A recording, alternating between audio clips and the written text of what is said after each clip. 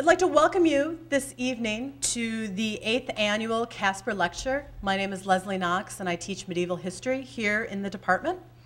Um, to begin with, I'd like to thank my colleagues uh, in the history department, especially my chair, Jim Martin, for supporting my idea to invite a medievalist here for this year's lecture.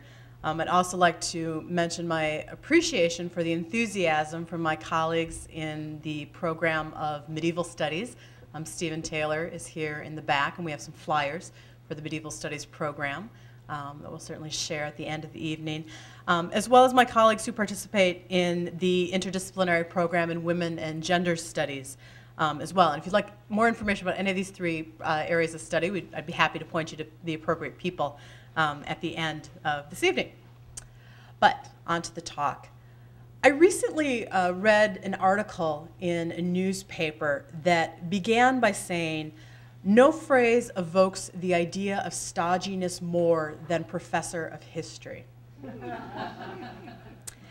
now, since you've come here this evening, um, I'm going to presume, or at least hope, that you do not share that view. But if you have any lingering doubts, um, I want to assure you that tonight's speaker and topic are anything but stodgy. Uh, Judith Bennett is currently professor of history at the University of Southern California, where her research focuses on medieval England, especially the history of women and work uh, during this important era.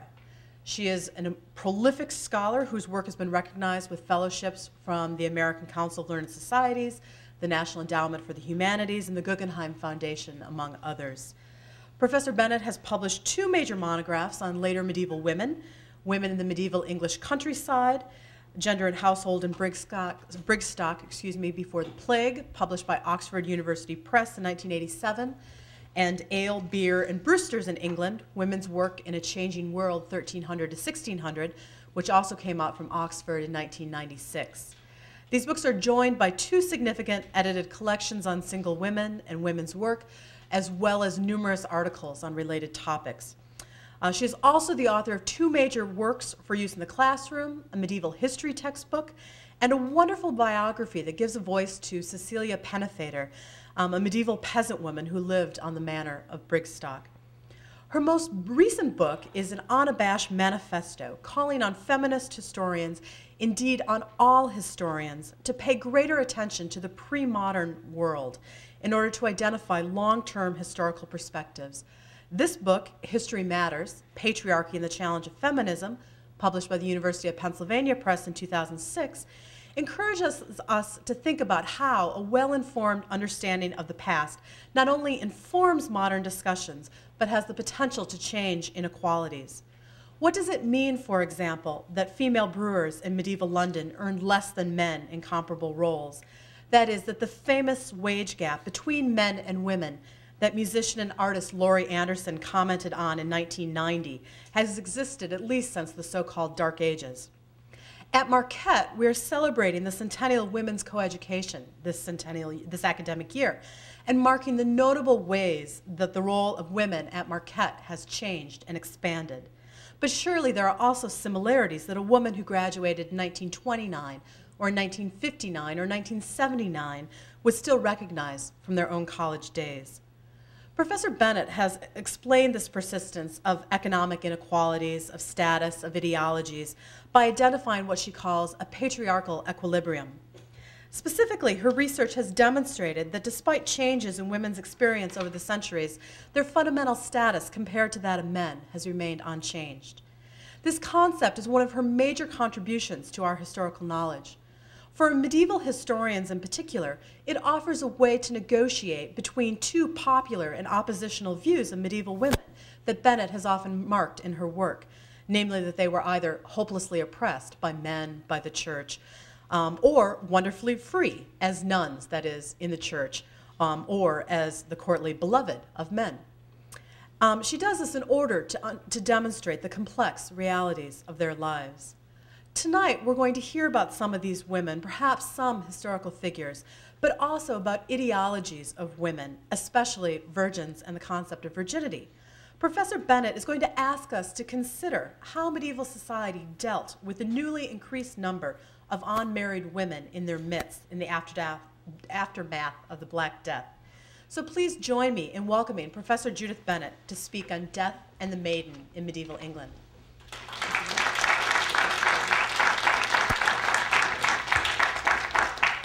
Uh, thank you, Leslie. That was a lovely introduction. Um, and uh, it's been lovely to be here. Thank you for the invitation, both to you and to the history department. Um, but thank you also for being a wonderful host. I've had a lovely day, two wonderful meetings uh, with graduate students, and a, a, lovely dinner as well. Um, and I am honored to um, uh, be able to give this lecture uh, in honor of uh, one of your colleagues, um, obviously an inspiring teacher, among other things, uh, Father Casper. I hadn't heard that about Professor of History. I'll have to get that reference from you. I, I remember when um, Obama was running for president, the worst thing people, well, actually, people said many worse things about him, I suppose, but they kept talking about how he was professorial, and I kept wondering, why is that an insult? You know? Um, uh, but I'm probably not the person to understand that.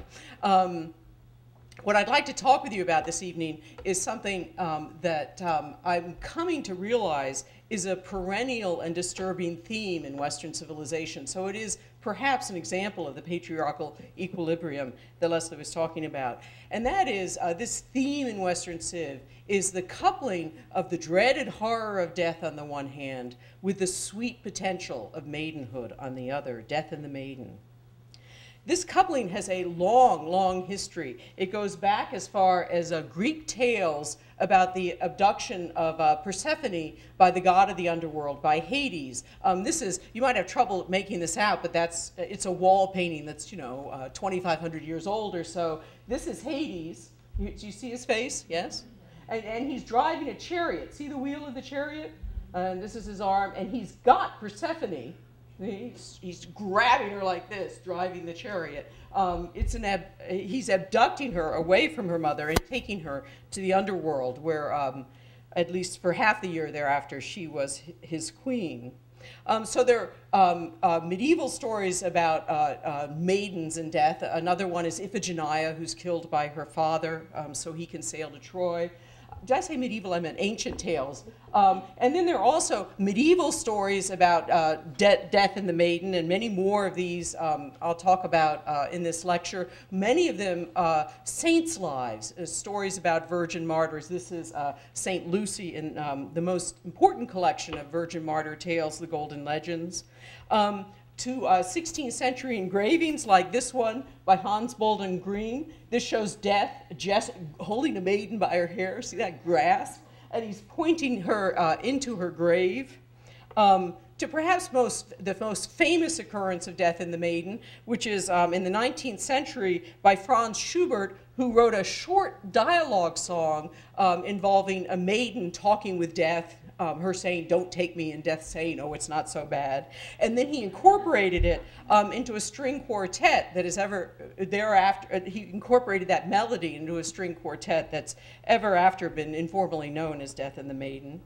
Um, to the modern era and pop songs about death and maidenhood, especially um, Last Kiss, a truly silly song that reached number two in the pop charts in 1964 and then was successfully revived by Pearl Jam in the late 1990s. Um, here are the, uh, some of the album covers for it. If you're sitting there thinking, Last Kiss, I don't quite remember. Um, I am tone deaf, so I won't sing it for you. Um, but the refrain is, um, Oh, where, where can my baby be? The Lord took her away from me. Do you remember this? Um, okay, she's gone to heaven, so I've got to be good so I can see my baby when I leave this world. Um, so there are, in um, two minutes, we've gone from the Greeks to my adolescence. Um, now, it seems to me at, at, it seemed to me at the outset, and still seems to me today, that the evocative and long-lasting uh, power of this duo, Death and the Maiden, across um, all these centuries uh, rests on desires that are, um, if I may speak frankly, um, uh, violent and pathological. Um, death has often been imagined as a lustful and dangerous predator of the maiden, even a rapist. Um, you can see this violence and lust from the beginning in, the, uh, in, in this image of the abduction of Persephone by Hades. And you can see um, much the same in other artwork. Here's another uh, 16th century engraving uh, by Hans Beham this is um, a remarkable engraving, I think, because he's, he's, he's expose the woman's body entirely to view by putting her in a completely impossible pose. Supposedly she's sleeping, but look at all the weight that must be resting on her right foot in order to um, expose her entirely to the, to the viewer. And then you have death um, creeping up over the back um, like a, a lustful lover coming to get her this is a uh, disturbing tradition, it seems to me, and it's a tradition that we moderns have inherited from the ancient um, uh, and medieval worlds. And I think we would be wrong to think that modernity or postmodernism have uh, freed us from it. Um, for I think that um, in the last couple of hundred years, all we've done is embroider on the theme in our own uh, creepy and weird ways. Um, here, for example, is a, an engraving done right at the end of the late 19th century by Edvard Munch. Um, that's pretty creepy and weird. Um, and here is um, a CD art from a recent performance of uh, Schubert's Death and the Maiden, completely gratuitous um, art by a completely uh, reputable quartet. Um, look at that. Um, well, okay. Uh, um, so I think there's a lot um, about this duo that's violent and pathological. Um, but it doesn't always work that way. Um, the maiden has not invariably lost her virginity or her life uh, to death, nor has she always been a victim. Um, for example, there's a uh, medieval alliterative poem called The Pearl, um, written by an anonymous contemporary of Chaucer. Um, and the pearl in that poem is a fully triumphant virgin, um, untouched by death, and surrounded in sort of um, the climax of the poem by 144,000 other dead virgins, um, all of them now brides of Christ. And this is actually an image from the one manuscript that survives uh, for the Pearl Poet. And this is uh, up here, this is the Pearl Maiden. And uh, you can see uh, uh, her triumph is, among other things, uh, and I'll get back to this later, shown by the fact that she's wearing a crown, a virgin's crown. So the virgin isn't always done in by death. The maiden isn't always uh, either raped or killed by death. And death itself is not always um, all powerful and fearsome, uh, sexually charged, or even um, male. Here, for example, is a painting um, that's contemporary with a Munch painting uh, by Marianne Stokes that shows death as a woman. And a kind of, she's stern, you know, she's holding up her hand like this. But I think she's more um, a kindly figure than a, a frightening one. And, and instead of um, carrying a scythe, for example, she's carrying a lamp, uh, suggesting that she's a guide uh, more than a grim reaper, if you will. So it's a complex duo. Now, by Chaucer's time, and Chaucer was born uh, in the 1340s, um, sometime in the 1340s, we're not sure when, and he died in 1400. We do know when he died. Um, so when I'm talking about Chaucer's England, I'm certainly talking about the second half of the 14th century, but I'm actually going to cheat and, and take Chaucer's England as running from the middle of the 14th century um, through the 15th century into the early 16th century, so late medieval England in general. In Chaucer's time, this duo of death and maidenhood was already complex and multifaceted in just the ways I've been describing. But for Chaucer and his contemporaries, both death and maidenhood um, uh, uh, had particularly strong resonances. Um, on the death side, late medieval people brooded with special intensity on human mortality because many of them um, had, had experienced and survived, as Chaucer did, uh, the Great Plague of 1347 to 49, what's uh, usually known as the Black Death, when one third to one half of Europeans died. We, used, we th once thought we knew what this disease was. We're no, you know, it was rats and fleas. I'm sure you probably heard this. We're now completely confused and uncertain about what it was, but we do know that it killed one third to one half of Europeans, and that then there were subsequent outbreaks. So in 1362, another outbreak, but for hundreds of years thereafter, subsequent outbreaks of whatever this plague was. This affected people like Chaucer, and their macabre um, obsessions are reflected, among other things, in um, late medieval illustrations on themes of um, the dancing dead as here. So death means something special uh, to these people. So too does maidenhood. because um, people in Chaucer's England were dealing with the presence of more maidens in the population than had ever been true before, than had been true in the time of, say, Chaucer's father or his grandfather. We think that men and women in Chaucer's generation were the first in England to start to delay their marriages, to marry in their early to mid 20s rather than in their mid to late teens. So to delay their marriages by five or 10 years, and also the first ever to um, have large numbers of people in their generational cohorts who never married at all, large numbers of bachelors and what were, uh, what, uh, and what were called single women. A spinster then was still somebody who spun wool. Um, uh, a single woman was an, uh, a term for a never married woman. Uh, maiden was another term. These were distinctly new marriage customs, and just like we don't know now what caused the plague, we're not sure why these new marriage customs developed, but we do know um, what effect they had in terms of um, maidens. And that is that these marriage customs created a cadre of young women who were in their teens and early 20s, so they weren't girls, they weren't married women, they lived away from their parents, they um, uh, worked often as servants or laborers. And they aspired to save money um, with an eye towards marriage. Most of these women eventually married, but some of them never did. Uh, our guess is, and it is a guess, is about 10% of women in, um, in Chaucer's generation and the generations that followed uh, never married. And when they died, they died as maidens.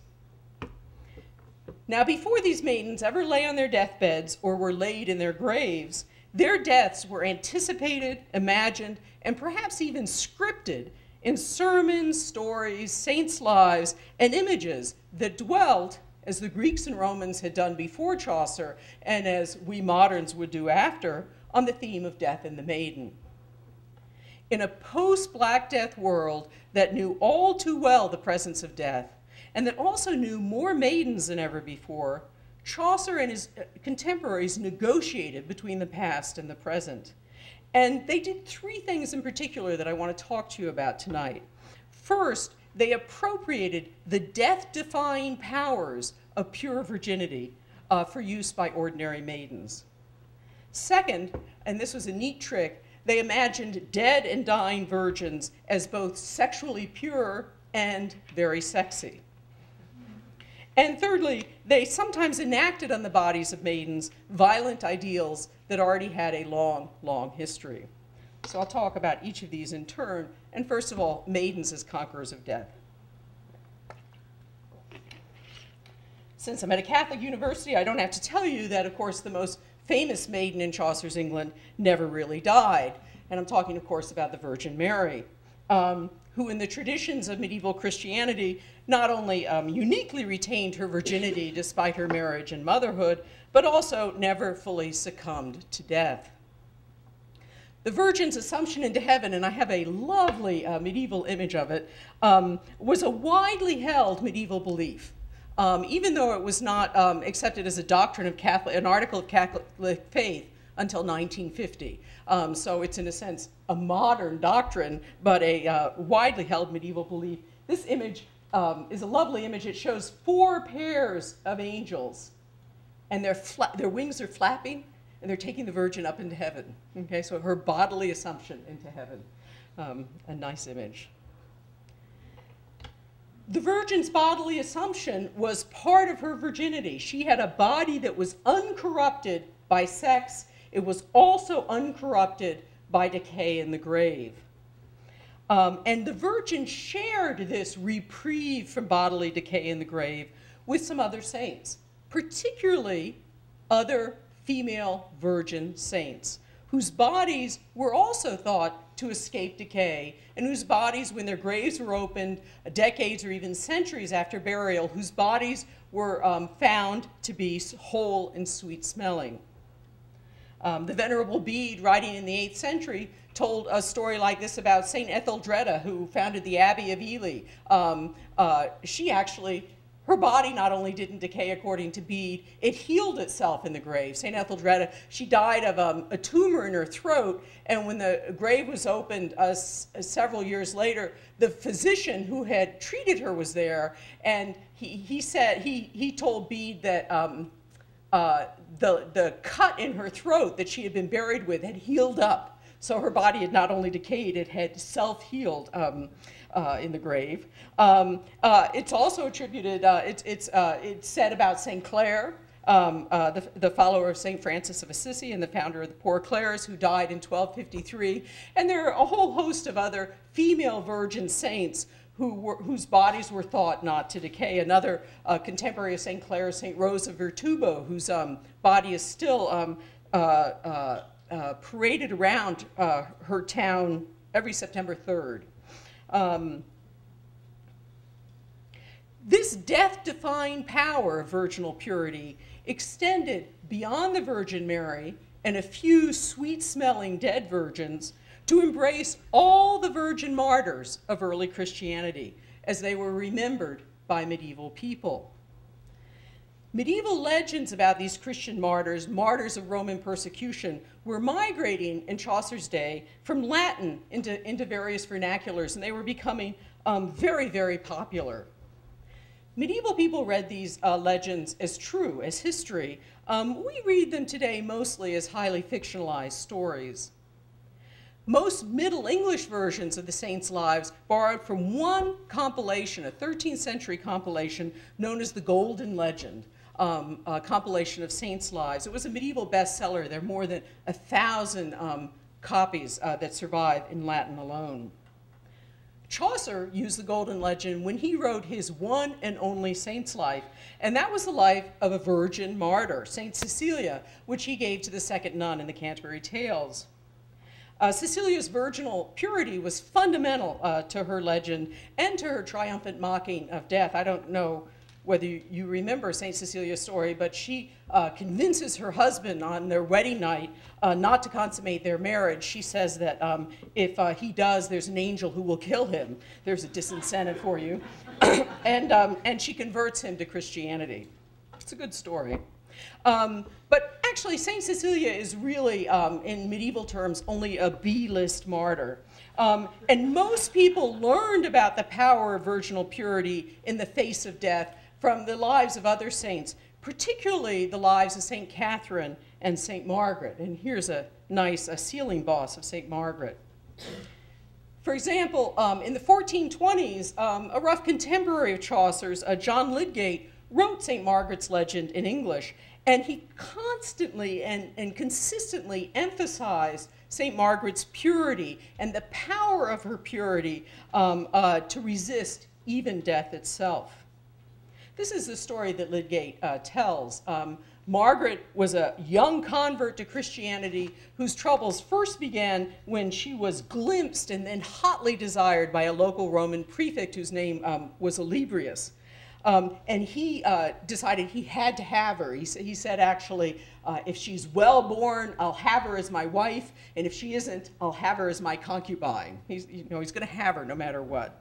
Um, she's brought before him, and she tells him not only that she's a Christian, which, which takes him aback, but also that she will not um, uh, uh, accede to his sexual advances. He then does all the classic things that an evil man does in these saint tales, saints' tales. He imprisons her, he tortures her, he has her hanged, and so on. Uh, she survives all these things, including hanging, um, and and she's not dead yet, and she's sent to prison where overnight um, uh, she faces down the devil twice.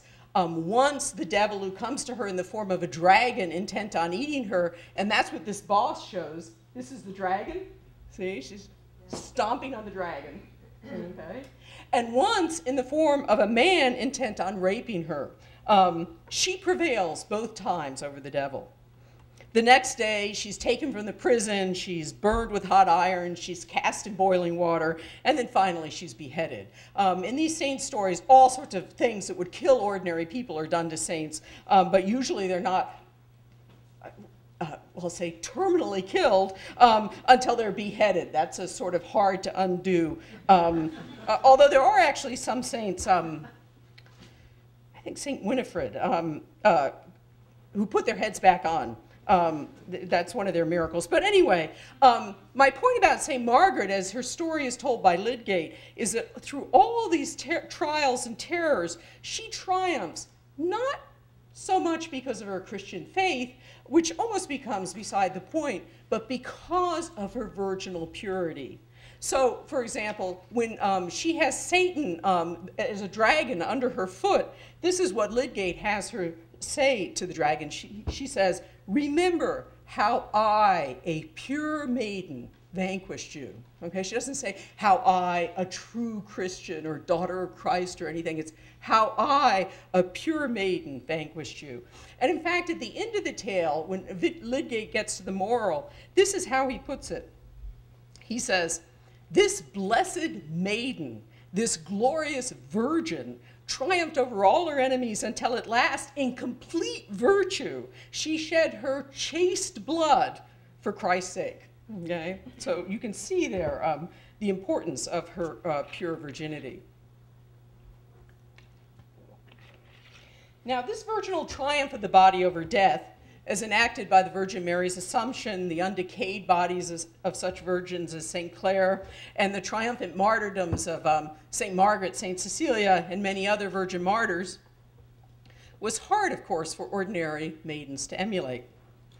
Um, and in fact, they don't seem to have tried. Um, in their wills, for example, they never talk about their pure virginity. So as they're on their deathbeds, facing their maker, they don't actually say, by the way, I'm a virgin, be nice to me, um, or treat me specially at all. But despite that, dead virgins, real virgins, were sometimes remembered in ways that evoked the special power of their rather ordinary virginity, because they were awarded a virgin's crown. This crown was a sort of halo made real, a sign of victory over flesh and triumph over death.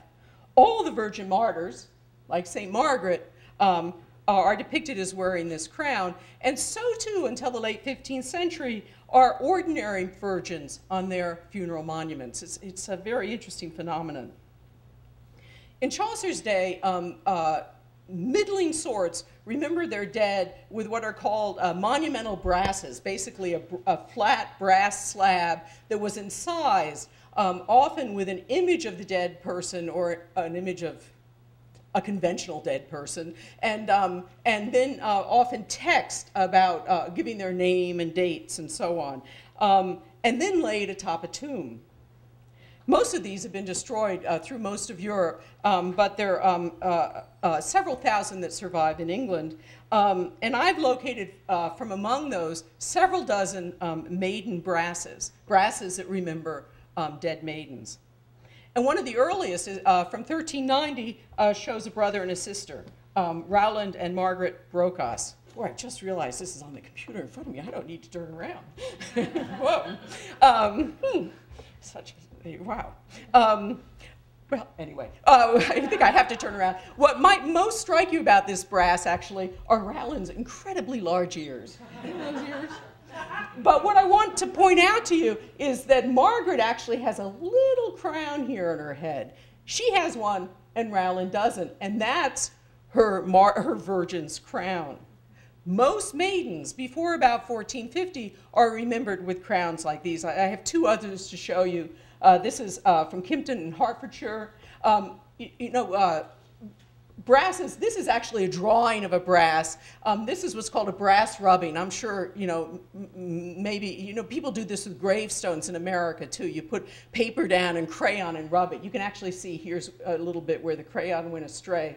This is a full image, and then I've blown it up so you can see your crown.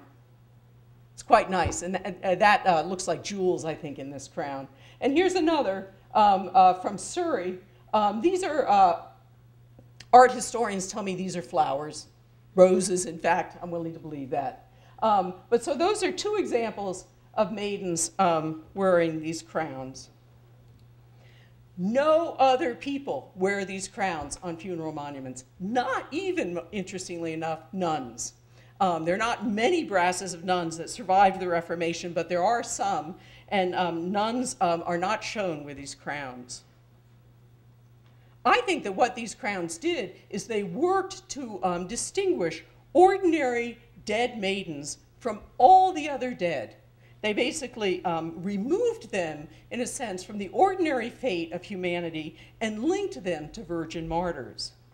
And, and suggested that although the bodies of these uh, of other people are corrupted by sex and death, the bodies of these virgins, even not holy virgins, just in a sense you could say accidental virgins, that even their bodies had a special power to triumph over death. Okay, now my second point. Um, dead and dying maidens as object of de- objects of desire. It seems um, that this maidenly purity and its power worked best, or possibly only worked at all, when the maiden was a desirable one. Um, so you had to be a desirable maiden in order for your purity um, to um, translate into power. In saints' legends, this requirement turned virgin martyrs, women who rejected sexuality, into sex objects. Virgin martyrs are always depicted as young women attractive by medieval standards. They have tall, thin bodies, long blonde hair, blue eyes, rosy cheeks, red lips. Um, and they are also depicted in ways that subjected them to the lustful observation of men, both men inside the stories um, and men who read the stories. The lust filled subtext of these saints' lives is now widely recognized, although, as you might imagine, it's much, much debated. And it's so important to these genres that it was written into the stories. In other words, um, virgin martyrs like St. Margaret in Lydgate's tale suffer at the hands of men who are aroused to consuming desire on seeing them, and who in many cases are more infuriated by their refusal of sexual overtures than by their refusal um, uh, to um, uh, uh, uh, renounce Christianity. For readers of these texts, the leering gaze of their Roman torturers was a gaze that they too were able to adopt. So St. Margaret both is viewed by Olybrius and desired by her, and also um, uh, possibly viewed by male readers who could, in a sense, desire her through Olybrius's uh, gaze. And I'd like to illustrate this tonight with a um, uh, uh illuminated manuscript um, of the Golden Legend that was produced in Paris in the 1970 had migrated to England by Chaucer's lifetime, and then came um, to my the library next door to where I live in 1927. Um, this is um, a, a, beautiful manuscript of the Golden Legend. It's about this is the opening page. I wanted you to see how these um, uh, images sit in the page. The page itself, it's not a big manuscript. It's about the size of a um, a legal page, um, so a little bit larger than 8 by 11. And the images themselves are about two inches square and set in the text like this. Um, uh, as you'll see, they're in incredibly detailed. Um, as befits a compilation of stories about saints who died for their faith, this golden legend is filled with disturbing pictures. Um, it's filled with pictures of um, saints being imprisoned or killed um, uh, or interrogated. Um, the subject itself basically makes for disturbing pictures. As here, this is, um, this is uh, you wouldn't guess it because it's not conventional, but this is St. Andrew, you know, on a Roman cross instead of the Saltire cross on which he's usually shown. So all the images so show, I guess you could say, saints in distress. Um, but as Margaret Easton has shown most extensively, the images in this golden legend uh, treat male uh, martyrs very differently from female martyrs. Most male saints are shown dying in composed and clothed dignity, um, as in this image of St. Blaise. Um, and in fact, almost all the men are, being, are shown being beheaded in this way. Most female saints are shown unclothed, under torture, and often subjected to specifically sexual tortures, even when the text of the saint's life doesn't require it, doesn't describe that sort of suffering this, for example, um, we've seen this several times already. This, this is, um, uh, shows St. Lucy, the death of St. Lucy, who, um, in the story of her life, Saint, the way St. Lucy dies in her story is that she's so skilled at talking back um, uh, to her torturer that he has a knife inserted into her throat to shut her up, basically. And the artist has rendered this instead as a sword to her belly, which is um, a clear indicator in medieval iconography of sexual intercourse. There's a clear sexual um, undercurrent that lies in, that, in the placement of that sword. This um, shows St. Agatha, whose um, great miracle, uh, uh, the, the, many tortures that are done to St. Agatha, but one of them is having her breasts um, chopped off, and, and, then, and then, of course, God miraculously uh, restores them. Um, uh, this, it, although this is one of the many tortures to which St. Agatha is subject, this is always shown, and this is a particularly uh, graphic rendering of, um, of, uh, of St. Agatha's tortures. She's often shown um, and again, since this is Marquette, I'm, I'm, sure many of you are familiar with it. St. Agatha is shown holding a plate with her breasts on them. Sort of looks like um, two cakes, um, but they're her breasts. Um, th and then this last one is actually, to me, the most interesting. It shows um, uh, a fairly minor saint, Saint Felicula, um, uh, and what's interesting about her is that um, uh, the text of her saint's life merely says that she was tortured on a rack. And then the other thing that's interesting that the artist could have worked from is that in this manuscript of the Golden Legend, sometimes there are faint directions to the artist that are written in the margin. That's basically say, this is what you should show here. And in this case, the directions survive, and the directions say, um, uh, uh, uh, show a picture of St. Felicula as dead. And instead, this is what the artist decides to do. He, he strips St. Felicula to the waist. He, he has her hanging from a scaffold. He's got guys, you know, raking her body. And she's, uh, it's an extraordinary expression on her face, it seems to me, sort of looking with uh, considerable anxiety at uh, the fellow to her right. What we can see fairly quickly and efficiently here um, uh, uh, was true generally. Um, and here's the contrast for you, if you like. Um, the stories of virgin martyrs in both written form and also uh, in the images that accompany the text were treated differently from the stories of male martyrs, um, and in ways that had the potential to titillate as well as instruct, um, and to incite lust as well as piety. Now, I think this titillation and lust was also directed towards ordinary dead maidens. And I think this because even more so than virgins' crowns, dead maidens on memorial brasses adopted another characteristic of virgin martyrs, and that is that they had loose hair flowing to their shoulders or beyond. And here, again, I think this is the last time I'll show you St. Lucy, uh, you, you can see her very long hair. It goes down uh, basically to her elbows. This loosened hair has conventionally been understood as a sign of um, pure virginity. But I actually think it was a sort of sexual come on, a sign of desirable virginity. We've seen flowing hair already on some of those uh, brasses of maidens I've already shown you um, that had crowns um, but there are many more maidens, uh, particularly from the late 15th century, when crowns are less common, but who are nevertheless shown with long flowing hair. And it becomes actually the dominant characteristic of their funeral monuments. Here, um, here for example, again is a Lingfield maiden with her crown, and then see how long her hair is.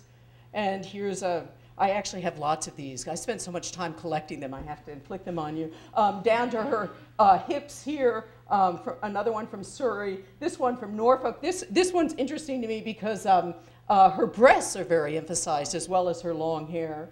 Um, she has huge hands as well, but um, uh, um, here's another one from the um, early 16th century and a last one, also from the early 16th century.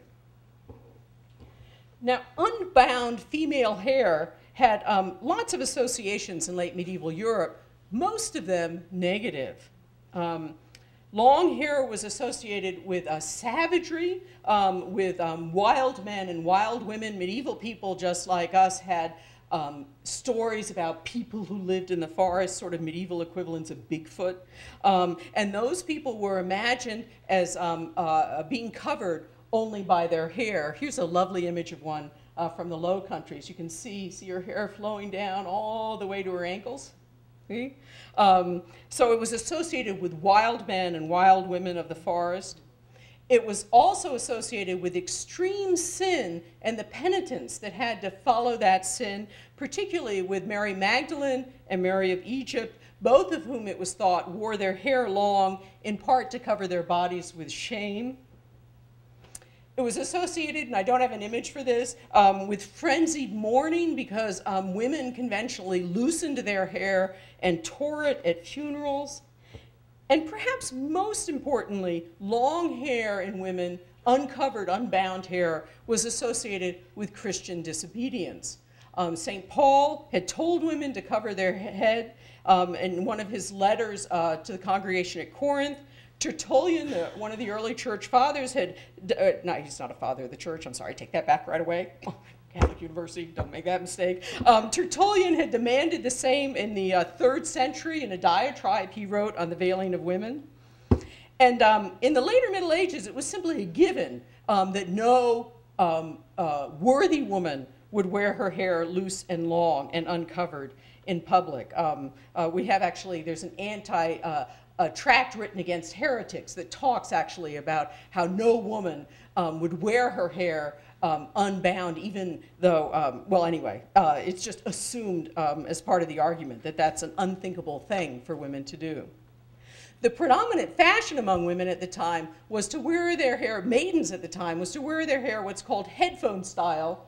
Um, uh, you can see here, um, headphone style and then with little uh, caps on top of their heads. Um, this is, uh, we, brasses are also used to study fashion history. And this is a brass of a married woman and mother. And uh, uh these girls are taken uh, from what are called the weepers on the brass, the children who are attending her um, uh, and mourning her passing. so these are the four daughters of Joan Cobham. And you can see um, they're not dead maidens. They have their hair uh, done up the way they should. Um, so living maidens controlled and covered their hair, as here. But dead maidens um, emulated sexy virgin martyrs by wearing a sort of counterfactual long hair that um, they would have never adopted in public. Um, and I think they did this to evoke um, a sexual possibility um, their sexual possibility that was unfulfilled, in a sense, to speak uh, to the pleasures that might have awaited um, their husbands uh, who were not to be. The only other circumstance at the time in which a woman appeared with her hair unbound in public uh, speaks, I think, to this the sexual meaning in these monuments, and that is the only other circumstance is queens at their coronation who wore their hair long um, uh, to partake in a ritual that emphasized the sexuality with which they would get their husbands to bed and, uh, and help them produce heirs. Okay, my third point is my most disturbing. Um, for it seems that Chaucer and his contemporaries were absolutely comfortable with the idea that for virgins, death was preferable to loss of virginity. This um, better dead than defiled attitude drew on both Christian and classical traditions. From St. Augustine on, Christian theologians dithered on a really critical issue, and that is the issue of what happens when a virgin is raped, particularly a holy virgin. Is she still a virgin because she had been violated in body but not soul? Or had she lost her holy virginity along with her physical maidenhead? Some theologians um, said that rape tarnished virgins, although just a little bit. And that's basically St. Augustine's position. Some said that a raped virgin was still a full virgin, and that's uh, the position of Thomas Aquinas, who uh, says, in fact, he says, um, uh, uh what you lose in rape is like uh, losing an arm that's chopped off. It has no moral uh, meaning at all. Um, a nice argument. And some, uh, including St. Jerome, were so horrified at the prospect of a, a virgin sanctified to Christ being raped that um, uh, they advised that a virgin commit suicide, an otherwise mortal sin, rather than suffer rape. This last advice left room for what Jane Schulenburg has called the heroics of virginity.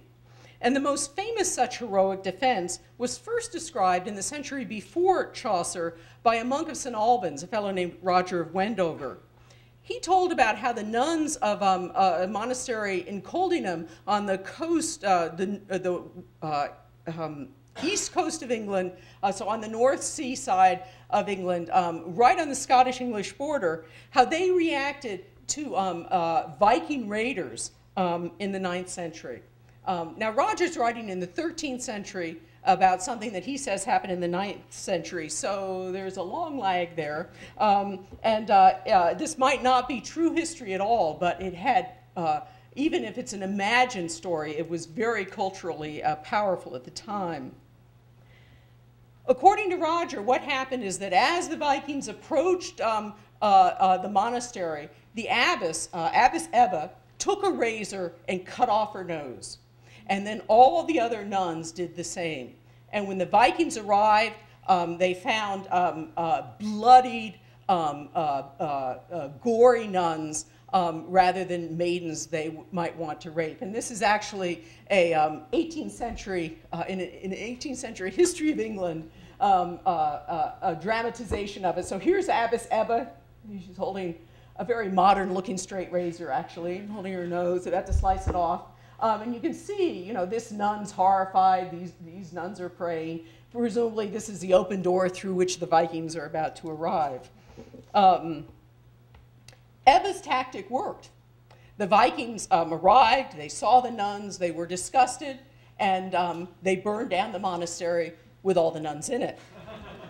but that meant that they died as intact virgins. Okay? And in fact, they died as intact virgins by another's hand. Um, so even uh, uh, better than suicide. Now, this Christian tradition of heroic but dead virginity drew partly on um, a very important um, uh, uh story uh, told in Roman history um, uh, as related by the Roman historian Livy. Um, and it's a story about a father named Virginius who um, killed his daughter in order to preserve her virginity. Her name was uh, Virginia um, because she took her, na her name from her father in the classic Roman tradition. Now, the story of Virginia, as Livy tells it, is basically this Virginia is seen and glimpsed by a, um, uh, one of the tyrants who then uh, ruled Rome, um, an evil man named Appius. Um, when he approaches her and she rejects him, he then conspires by a series of legal maneuvers to get his hands on her so that he can uh, rape her. Um, when those legal maneuvers work and a corrupt court is about to turn Virginia over to Appius and, and the fate that he plans, her father instead drags his daughter um, uh, to, uh, to a butcher stall um, nearby, whips up a knife and plunges it into her breast and kills her. Um, and then um, the men of Rome, horrified by what this father has had to do um, in order to protect his daughter, rise up and throw out um, Appius and all the other tyrants as well. So it's a story about how essentially the men of Rome um, uh, got the courage to throw out uh, tyrants um, on the body of a dead maiden a maiden killed to preserve her purity. Now, this is a horrible tale, and it prefigures many of the essentials of Christian stories about virgin martyrs as they were told in the Middle Ages. Um, just like in the story of St. Margaret, you've got a beautiful maiden, you have a wicked, desiring man, and you have a pure death. And it was a story that was much told in Chaucer's time, much repeated in the 14th and 15th centuries, the story of Virginia just at the time that all these saints' lives are also uh, uh, proliferating. Chaucer gave this story to his physician in the Canterbury Tales. John Gower included it in his Confessions of a Lover, written at about the same time. And John Lydgate, who, um, whose story of uh, St. Margaret I told you about earlier, also included it in his Fall of Princes. And this is actually uh, an image from another Huntington manuscript um, uh, that shows uh, the death of Virginia as it was imagined uh, in the middle of the 15th century. Here's the full scene, the courtroom, the judge about to hand Virginia over, and here's Virginius uh, doing, uh, murdering his daughter. And I blew it up so you could uh, actually see the blood spurting from her neck.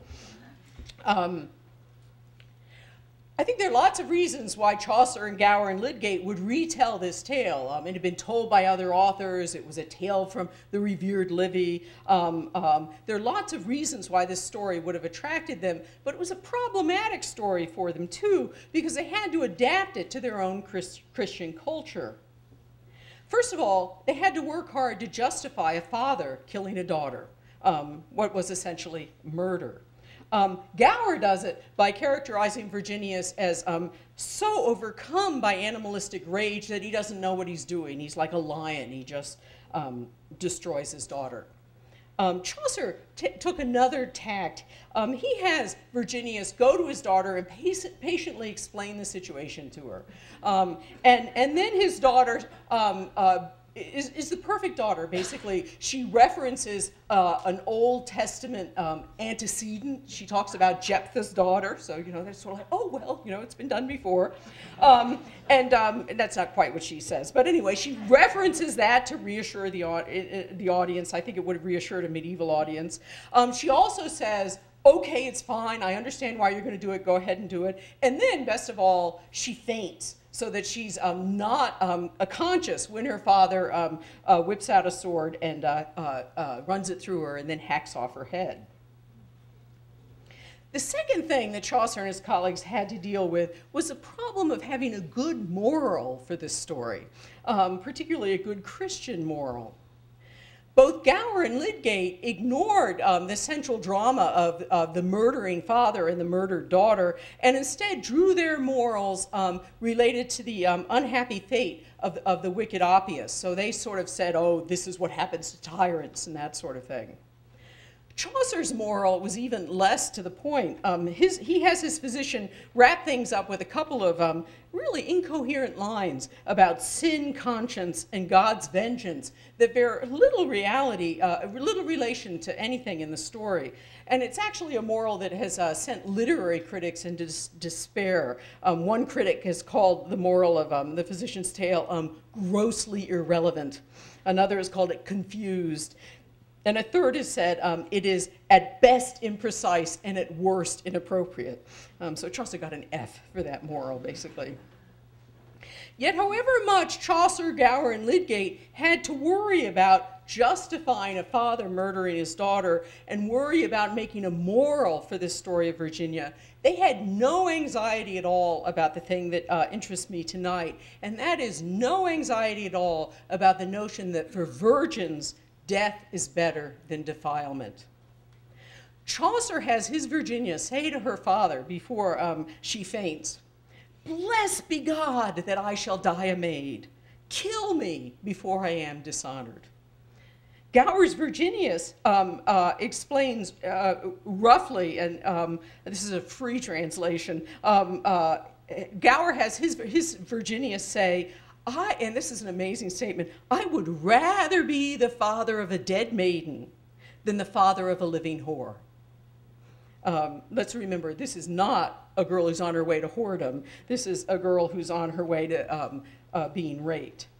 And Lydgate bloodthirstily tells us that Virginius did not just kill his daughter, but that, quote, to keep her honest, he spared no effort to make her bleed, um, just as in the slide. So, like stories of virgin martyrs, uh, virgin martyrs threatened by lustful pagans, and stories of nuns threatened by lustful Danes, the story of Virginia in the hands of medieval authors worked to valorize and even admire female death in defense of purity. Now, did stories like these convince real maidens that death was preferable to defilement? I hope not, and I have found no hard evidence that they did, although I think hard evidence on this point would be very difficult to find. There is one chilling statistic that gives me pause and makes me wish I knew more, and that is that maidens account for almost half of all recorded suicide, uh, recorded cases of female suicide at the time. So female suicides have a disproportionate number of maidens among them.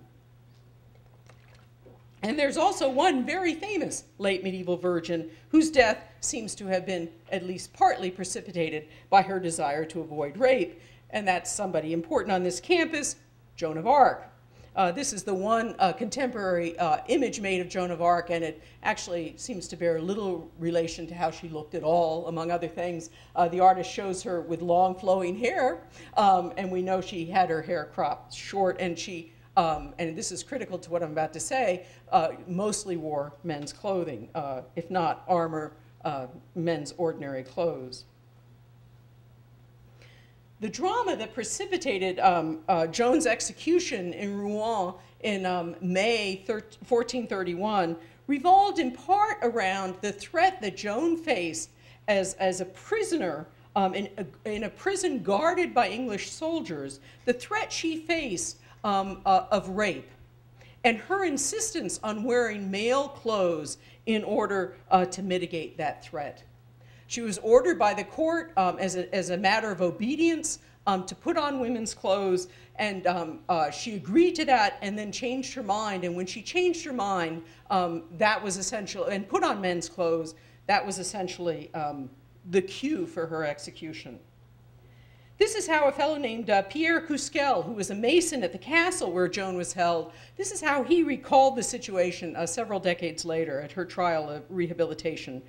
Um, Cusquel said, People said her condemnation had no other cause than her putting on men's clothes again, and that she only wore those clothes in order to protect herself from rape by the soldiers who guarded her. There's, there were several other witnesses who said much the same. Now, the English were, of course, going to execute Joan, no matter what the pretext. And it's hard, very hard, to tell fact from fiction um, in the various um, uh, uh, extant records of her uh, 15th century trials. Perhaps Cusquel's testimony and the testimony of others like him is yet another late medieval fiction about virginity defended to the death. But perhaps he reported a real dilemma that Joan faced and a hard decision that she had to make. So, what should we make of all this? Certainly, I think it would be a mistake to shake our heads at weird medieval people who made such an odd fetish of dead and dying virgins. Um, so easy to shake our heads at medieval people. But um, I think that what medieval people did with Death and the Maiden was um, uh, distinct to their own time and culture in certain ways, but not thoroughly new and um, certainly not unknown in our time. Um, Chaucer's England played out its understandings of death and maidenhood on a field populated, for example, by the Virgin Mary and virgin martyrs. But the Romans did not need the Virgin Mar Mary or virgin martyrs to help them appreciate the first point I made tonight that is, the special power of virginal purity in the face of death. The Romans didn't need the Virgin Mary or the Virgin Martyrs because the Romans had the Vestal Virgins, who could, with a nod or a touch, give the gift of life to a condemned convict. We moderns have, I think, created our own versions of maidens unbowed before death. After all, it's we moderns who turned medieval belief about the Assumption of the Virgin into modern dogma with um, Pius XII in 1950. And it's also we margin, moderns, I think, who have secularized the concept. Um, think, for example, about uh, Florence Nightingale and Clara Barton, two um, early celebrities. I mean, really, really um, uh, famous people in the mid and late 19th century who, virgins, never married women, who went out on the battlefields of the Crimea and the Civil War and saved sure to die soldiers, and who then founded, uh, were critical in founding the modern nursing professions, which in both England and America were a long time basically professions for maidens. Um, married women couldn't be nurses. Um, they, uh, most nurses were never married women and um, an occasional widow. So too, I think, was Chaucer's England not unique in its morbid sexualization of maidenhood. Um, uh, my second point tonight. My adolescence was enlivened not only by Last Kiss, um, but also by lots of other songs about dead girls, an amazing number of songs about dead girls, um, such as Teen Angel, uh, which hit number one on the charts in 1960. This is a story about a boy and a girl go out on a date, their car gets stalled on a railroad track, they run away, and then the girl at the last minute runs back, she's hit by the train, and then they find his high school ring in her hand. Um, uh, also, um, Patches, which was uh, number six in 1962. This is Rich Boy Loves Poor Girl. His parents make her him leave her. She drowns herself in sorrow, and he, he's singing. He's, he's sorry, the patches, oh patches. But anyway, um, and actually, my favorite. Um, uh, I was uh, 14 in this year, um, which hit the top of the charts in 1965, Laurie, which is a song about a boy goes to a dance, he meets a girl, they have a lovely evening together, it's just great. And then when he goes to her house, his father says, Oh, my daughter died a year ago today. And he goes to the graveyard um, where she's buried, and he finds atop the grave the sweater that he had loaned her um, because, of course, she was cold. You know, she's a ghost, so of course she's cold. Um, this uh, same creepy mix of sex and death is, I'm sure, um, uh, part of the resounding success um, in the 1990s of the novel and then uh, movie Virgin Suicides. Um, much less, of course, Pearl Jam's revival of Last Kiss in 1999. Um,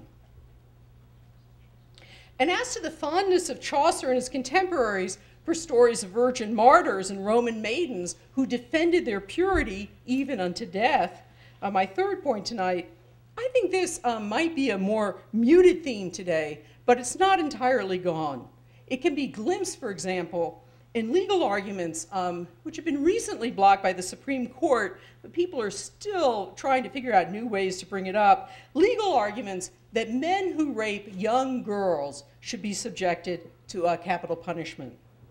The logic of these arguments is that the rape of a young girl is like her death and therefore it should be, um, uh, deserves to be punished like death.